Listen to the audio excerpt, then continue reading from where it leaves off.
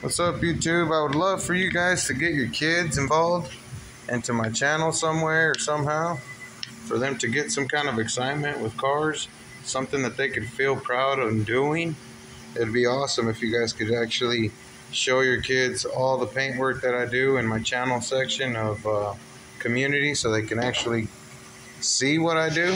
Maybe ask me some questions. I would like to interact with children to teach them the many ways of doing jobs, maybe get them enthused into doing something instead of seeing all this bullcrap that goes around the world with the whole vaping and the whole crazy ass drug use that could kill them at any minute. You know, our schools are doing nothing but horrible things and teaching them really young what drugs are. You know, I think that's very stupid.